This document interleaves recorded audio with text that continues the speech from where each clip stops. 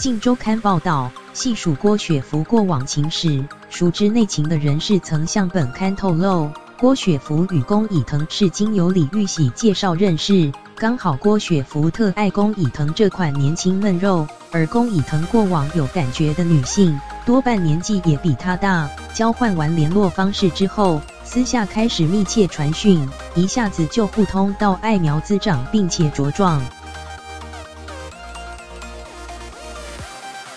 只是台面上，郭雪芙联合宫以腾把暧昧撇得干净。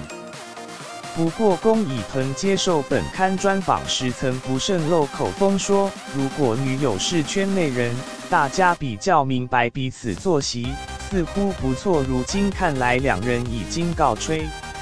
之前郭雪芙是号台南，除了宫以腾，还有之前的林敬哲，而且林敬哲的年纪还更小。